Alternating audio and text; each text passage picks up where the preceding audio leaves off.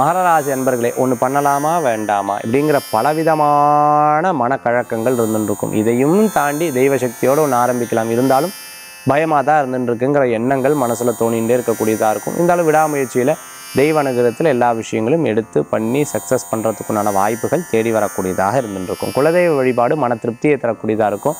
நீங்கள் பேசி ஒரு காரியம் ஆயிடுத்து நீங்கள் கனவுகள் கண்டு இந்த காரியம் நிறைவேறுத்து ஒருத்தர் நினைச்சலவா வந்துட்டேன்னா பார்த்தியா எப்படி நடந்தது அன்னைக்கு முழுக்க அந்த ஆச்சரியத்தில் இன்றைய தினத்தில் இருந்துருப்பேன் இன்றைய தினத்தில் பழைய வாகனத்தை கொடுத்து புதிய வாகனம் வாங்குறதுக்குண்டான யோகங்கள் உண்டு. உங்களுக்கு தேவையான பொருட்கள் லேப்டாப் செல்ஃபோனு வாட்ச் இந்த மாதிரி விஷயங்கள்லாம் இன்றைய தினத்தில் கிஃப்டாக கிடைக்கும். இல்லை அப்படின்னா நீங்கள் பழச்சை கொடுத்து புதுசாக வாங்குறதுக்குண்டான வாய்ப்புகள் உண்டு. இன்றைய தினத்துக்குண்டான அதிர்ஷ்டமான எண் ஐந்து. நிறம் சிகப்பு வழிபாட்டுக்குண்டான தெய்வம் பழனியாண்டவர் வழிபாடு. துர்கை வழிபாடு வெற்றி வழிபாடு.